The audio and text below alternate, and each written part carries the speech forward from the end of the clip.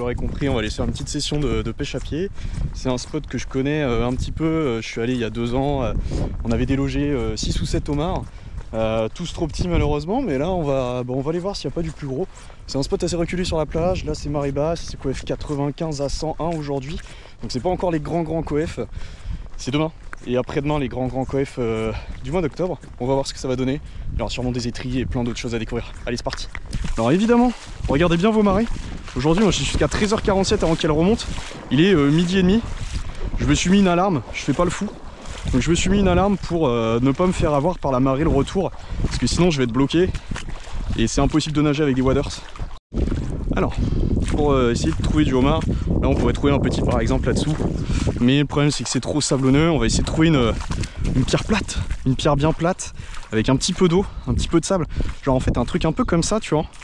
Mais euh, faudrait qu'il y ait plus d'algues. Là on va essayer mais... Tu vois, il y a trop de sable là. Beaucoup trop... Ah bah une étrille. Voilà.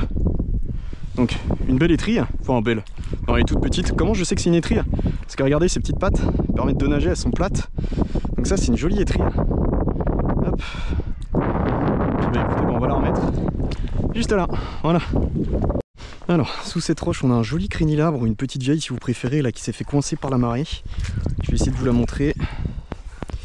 Faut pas que je mette trop de, de comment s'appelle, de, poussière, de sable. Vous allez voir, elle va gicler. Hein. Elle est assez balèze.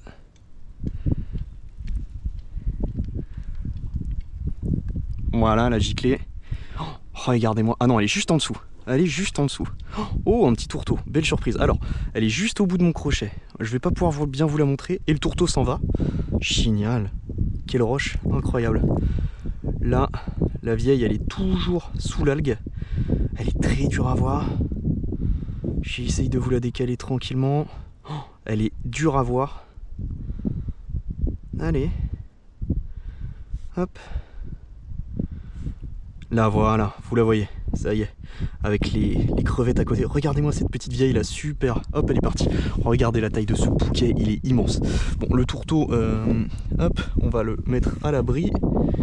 Euh, il est reparti. Hop, voilà. Tac. Bon, j'espère que vous avez vu le tourteau. Je vais pas les déranger. Eh, mais il est là, regardez. il est tout petit. Regardez-moi ça. Hop, allez, viens ici mon petit. Hop, voilà.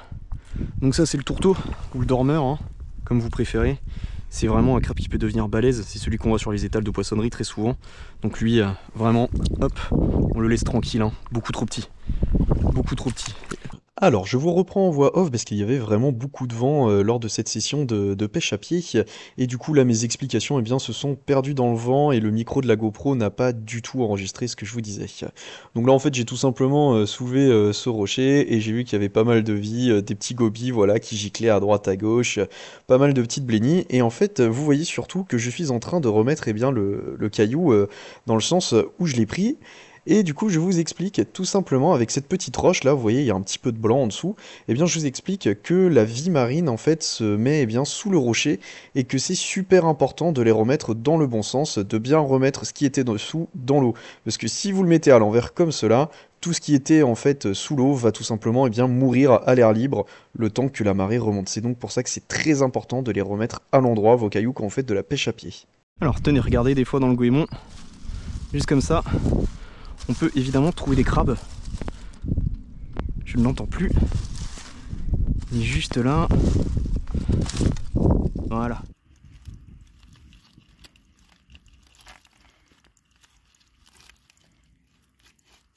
Ok les gars, j'ai mon premier homard. Il va être très difficile à aller sortir. Très difficile. Euh, hum, hum, hum, très très difficile. Alors déjà je vais vous le montrer. Mais alors, il va être euh, compliqué. Hein. Hop, alors attendez, j'enlève. Alors, mes lunettes, je les mets. Alors, il est là-dedans. Vous voyez où pas sa pince? On aperçoit. Ça va être compliqué. En plus, j'ai plus de batterie, il va falloir que je la change maintenant tout de suite. Pourquoi c'est compliqué? Parce que regardez, le trou il va partout, partout, partout, partout. Faudrait que j'essaye de le faire sortir, mais là, regardez, il y a un autre trou là-bas. Donc ça va être compliqué de le faire sortir pour vous le montrer. C'est pour ça que je vous le filme et je vais changer ma batterie directement. Ok, donc je viens changer de, euh, de, batterie, mais je crois qu'il a. Ah, il a bougé. Non, c'est sa queue qu'on voit. Alors, il vient de se retourner. Il vient de se retourner. Ok. Je pose mes lunettes. Il vient de se retourner. Ok. Oh, il avance, il recule. Oh là là, le salaud. Oh, le salaud. Il est de face. Oh, vous n'arrivez pas à le voir. Il m'a bien eu. bon, je me doutais. C'est très très dur hein, sur les failles comme ça. Hop, est-ce est... Je le vois plus. Ah, je sais pas où il est. hein. Non, il a complètement giclé. Bon, moi je vous l'aurais montré. L'eau est d'une clarté.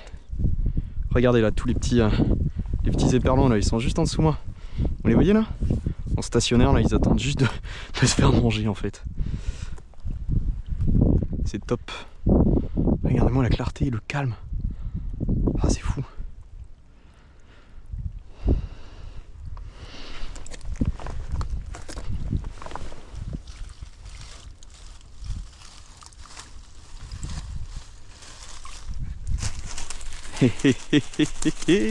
Voyez ce que je vois? Vous voyez ce que je vois? Vous l'avez vu, non? Regardez. Oh, ouais Super ça Hop Elle était pas facile à voir, hein J'ai eu de la chance. Voilà Et elle est pas mal, hein Elle est pas mal pour la saison. Alors évidemment, elle est, petite. C'est une femelle. Pourquoi c'est une femelle? Parce que ces pinces, elles sont toutes petites. Les mâles ont des pinces beaucoup, beaucoup plus grosses. Mais bon là, regardez, si j'appuie un petit peu, c'est tout mou. Elles sont toutes molles en ce moment. Il faut vraiment pas les ramasser. Il faut les laisser tranquilles. Mais voilà. Hé, elle trouve rien. Hop, allez, tu restes au fond. Je sais pas comment j'ai fait pour l'avoir. C'est vraiment un, énorme coup de chance. hein. Je vais pas faire le connaisseur là-dessus. Mais euh, j'avoue que je m'attendais pas. Oh, mais il y en a une deuxième, non? Attends. Non. Non, non, c'est moi qui, euh, qui dit des bêtises. Hop, et bah écoute, on te laisse tranquille l'araignée de mer. Là, en utilisant mon crochet, en fait, j'ai tout simplement délogé un homard sous, euh, eh bien justement, une roche plate avec un petit fond d'eau. Et je vous ai pas filmé ce moment-là. Et là, du coup, bah, je viens d'allumer la GoPro euh, justement pour vous montrer le moment où je suis en train de, de me batailler avec ce tout petit homard euh, pour essayer de, de vous le montrer d'un peu plus près à la GoPro. Vous allez voir que je galère un peu avant de, de pouvoir l'attraper.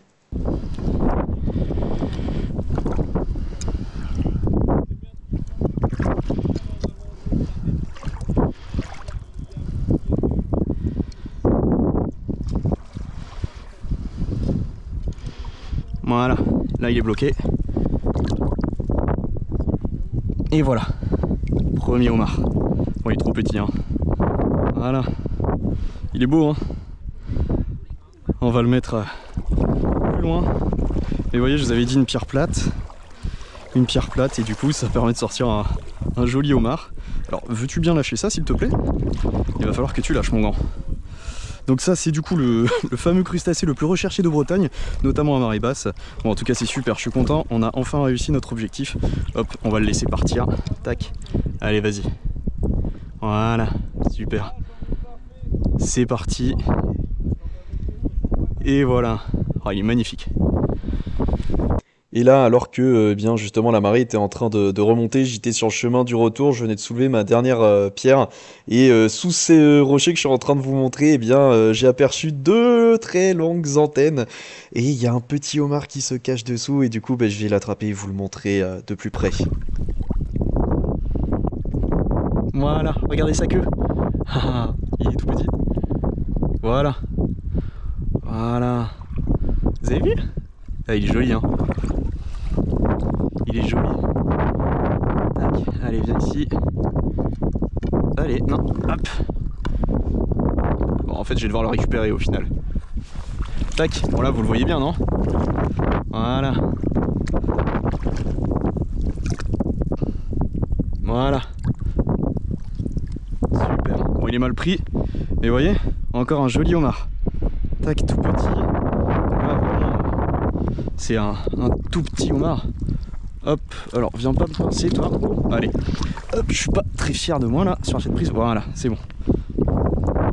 Superbe. C'est vraiment super. On va deux homards. Donc trois aujourd'hui, dont un dans sa faille qui devait faire la même taille que celui-ci. Allez, hop, tu repars. Vas-y, vas-y. T'es tranquille. Hey, yes. Bon bah écoutez, hein, c'est fini pour euh, cette session de, pêche à pied. Parce que là la, marée elle est en train de, revenir tranquillement. Hop, on récupère tout. Bon bah je suis content parce qu'on a réussi à avoir euh, ce qu'on voulait. On a réussi à avoir des homards. On a réussi à avoir une jolie araignée de mer. Il y avait des très belles étrilles, elles sont ultra agressives en ce moment, c'est impressionnant. En tout cas si les vidéos t'a plu, t'hésites pas à commenter, t'hésites pas à, me proposer des conseils, hein, voilà, parce que moi je partage juste comme ça une vidéo de pêche. Euh, je suis pas du tout un, professionnel de la pêche à pied, mais voilà, ça fait longtemps que, que je pratique ça. J'avais jamais fait de vidéo, et puis c'est vrai que je me suis dit, vas-y, ça change un peu.